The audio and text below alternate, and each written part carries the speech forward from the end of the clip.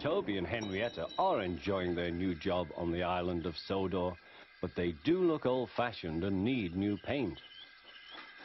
James was very rude whenever he saw them. Ugh, what dirty objects, he would say. At last, Toby lost patience. James, he asked, why are you red? I am a splendid engine, answered James. Ready for anything. You never see my paint dirty. Oh, said Toby innocently, that's why you once needed bootlaces, to be ready, I suppose. James went redder than ever and snorted off. It was such an insult to be reminded of the time a bootlace had been used to mend a hole in his coaches.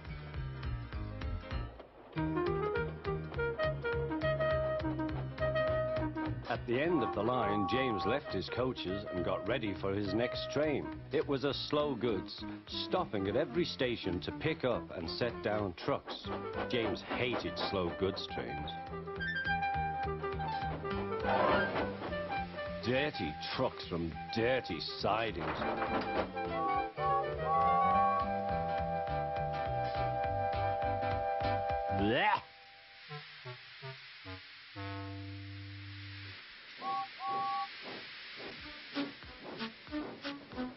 Starting with only a few, he picked up more and more trucks at each station till he had a long train.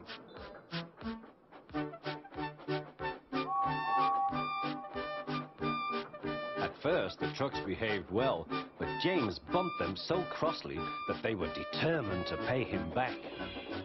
Presently, they approached the top of Gordon's Hill. Heavy goods trains halt here to pin down their brakes. James had had an accident with trucks before and should have remembered this. Wait, James, wait, said the driver, but James wouldn't wait. He was too busy thinking what he would say to Toby when they next met. The truck's chance had come. Hurrah, hurrah, they laughed, and banging their buffers, they pushed him down the hill. On, the trucks. I've got to stop! I've got to stop! groaned James.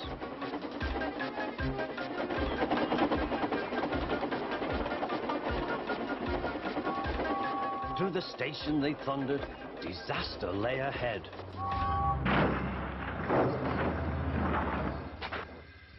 Something sticky splashed all over James. He had run into two tar wagons and was black from smoke box to cab. He was more dirty than hurt, but the tar wagons and some trucks were all to pieces.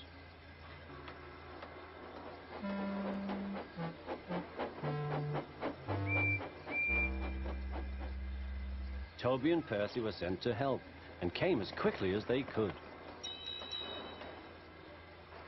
Look here, Percy, exclaimed Toby. Whatever is that dirty object?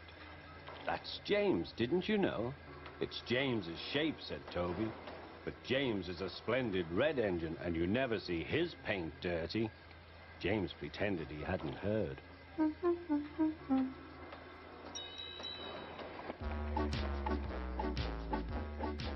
Toby and Percy cleared away the unhurt trucks and helped James home.